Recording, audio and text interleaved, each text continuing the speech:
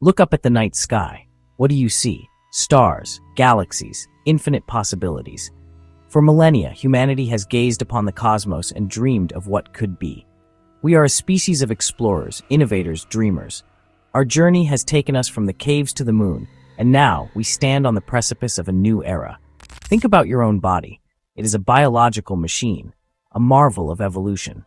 But like any machine, it wears down over time. We call this process aging. It seems inevitable, a fundamental law of life. But what if it isn't? What if aging is not a law, but a problem to be solved? Scientists are now viewing aging as a disease, a curable one. They are delving into our very cells, into the core genetic code that dictates our lifespan. They are discovering the mechanisms of decay and, more importantly, how to reverse them. The key lies in our DNA.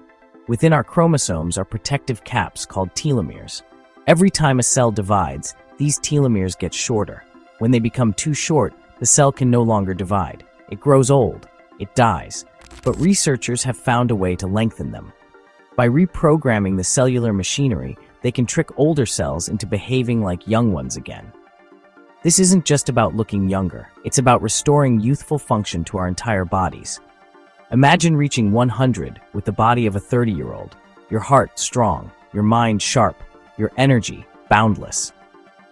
This technology could eliminate age related diseases like Alzheimer's, heart disease, and arthritis. It would mean more time, more time to learn, to create, to explore, to spend with those you love. It would fundamentally change the human experience. A single lifetime could contain several careers, several families, several distinct chapters of existence. The societal implications are staggering. How would we structure our economies, our governments, our families? The science of age reversal is happening in laboratories today. The first generation to experience radically extended lifespan may already be alive. We are on the verge of conquering time itself. Your brain is the most complex object in the known universe. It contains a hundred billion neurons. It forms a hundred trillion connections. It is an electrical storm of thought, emotion, memory. For all of human history, this inner world has been completely private, a silent, locked universe within each of us. But that is about to change.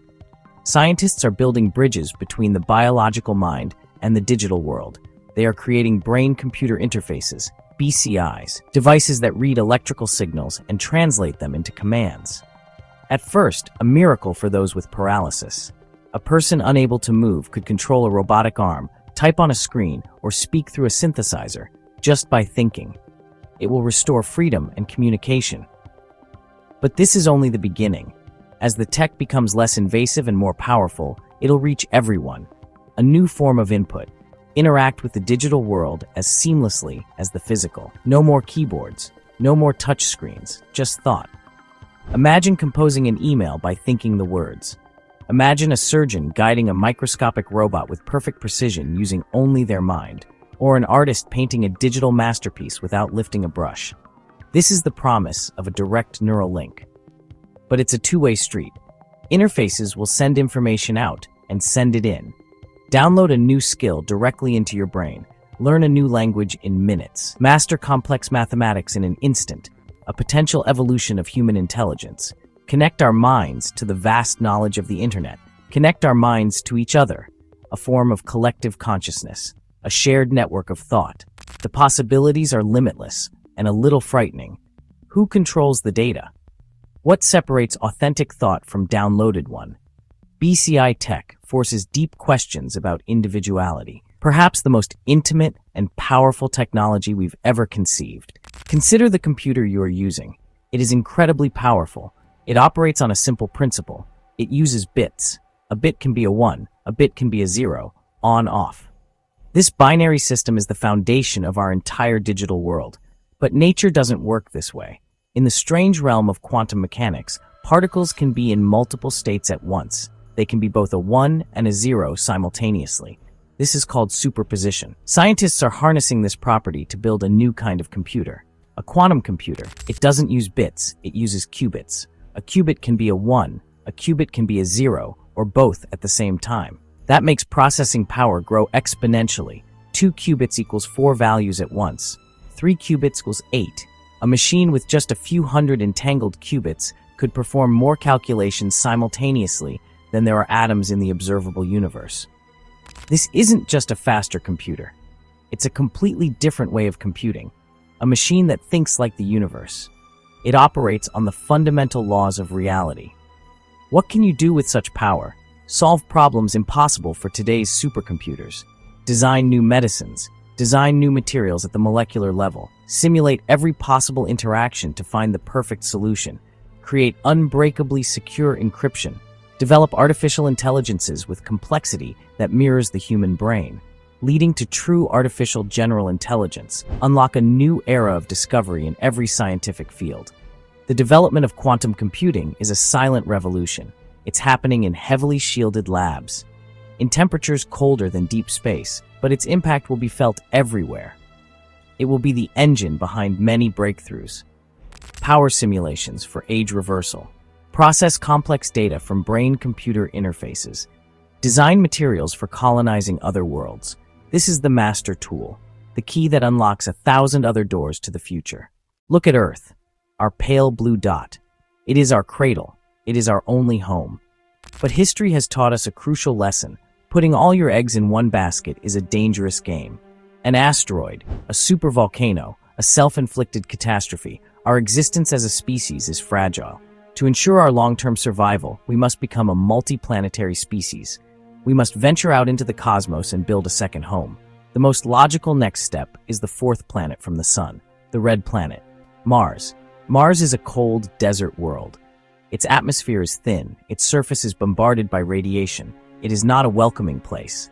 But it has the raw materials we need. It has frozen water at its poles. It has frozen water beneath its soil. It has the necessary elements to create breathable air and rocket fuel. It has a 24 and a half hour day remarkably similar to our own. With our ingenuity and technology, we can transform this hostile world into a new branch of human civilization. We can build pressurized habitats, grow food in underground farms, harness solar energy to power a new society. The journey itself is a monumental challenge, a six to nine month voyage through the vacuum of space. But we are building the rockets to make it possible reusable, heavy-lift vehicles that will make the trip affordable and routine. The first human footsteps on Mars are not a distant dream. They are likely to happen within the next decade or two. These first explorers will be the pioneers of a new age, establishing the first permanent human outpost on another world. They will be the beginning of a new story for humanity. Becoming a multi-planetary species will change us. It will force us to innovate at an incredible pace. It will give us a new perspective on our own world and our place in the universe. A Martian colony would be a backup for humanity, an insurance policy against extinction. But it would also be a symbol of our highest aspirations, a testament to our courage, a testament to our curiosity, a testament to our relentless drive to explore the unknown. We were not born to stay on one planet. The stars are calling to us, Mars is the first stop on our journey out into the great cosmic ocean. Look at the objects around you, your chair, your desk, your phone. They are static. They are fixed in their form and function. What if they weren't? What if you could command the very atoms of an object to rearrange themselves? What if your smartphone could morph into a teacup and then flatten into a plate?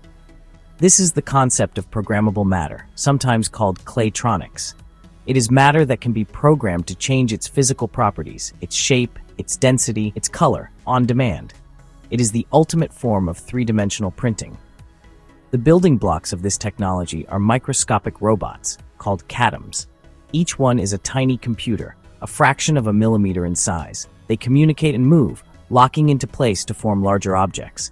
A lump of millions of these catoms would look like clay. Give it a command, and the units move, reassembling into any shape, like a Star Trek replicator, but the object can change into something else moments later. Think of the implications. You would never need to buy new furniture. Your bed could transform into a desk in the morning, which could then become a dining table in the evening. A car crash would be a thing of the past. Vehicles flow and reform around an impact.